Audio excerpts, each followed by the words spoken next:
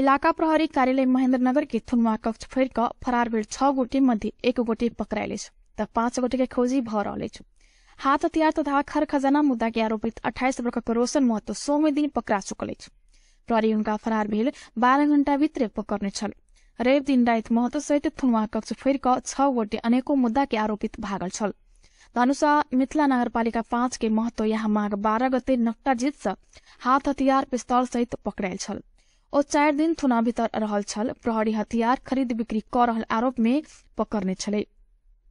यह मुद्दा में फरार भेल हुनक साथी शंकर महतो कहनिहार सेहो फरार छ सुर में शंकर रोशन के बयान के बाद पकड़ायल छल। महतोदय के प्रहरी भीतर सैन दिल पत्रकार सिमरन क सार्वजनिक केने छल। तय के बिहान भने रेप दिन हुनका सबके पाँच दिन म्याद थप थैप प्रहरी आवश्यक अनुसंधान क रहल छल।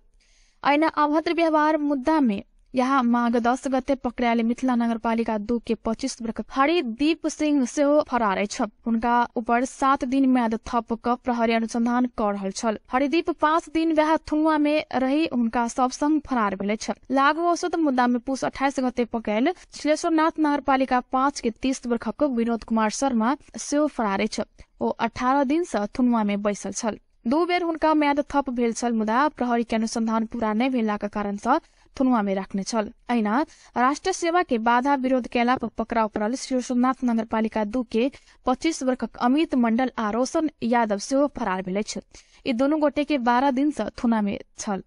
ओ सब थुनुआ कक्ष के भित्ता फेर क बीतल रेप दिन रात दू से चार बजे के समय में फरार भेल। प्रहरी के अनुमान छ यह घटना में प्रहरी ऊपर से शंका कयल गेल प्रहरी आ इलाका के नेतृत्व क रहल प्रहरी निरीक्षक इंस्पेक्टर बेचन यादव ऊपर छानबीन कर दुट्टा समिति गठन कयल गेल वरिष्ठ प्रहरी परीक्षक एसएसपी मनोज कुमार के नेतृत्व में मध्य प्रदेश प्रहरी कार्यालय छानबीन समिति गठन कयलक छ तहिना जिल्ला प्रहरी कार्यालय धनुषा सेहो प्रहरी न्याय परीक्षक डीएसपी प्रदीप बहादुर छेत्री के संयोजकता में पांच सदस्य छानबीन समिति गठन कयलक छ दोनों समिति सूक्ष्म रूप में प्रहरी के कमी कमजोरी बारे छानबीन क रहल अछि।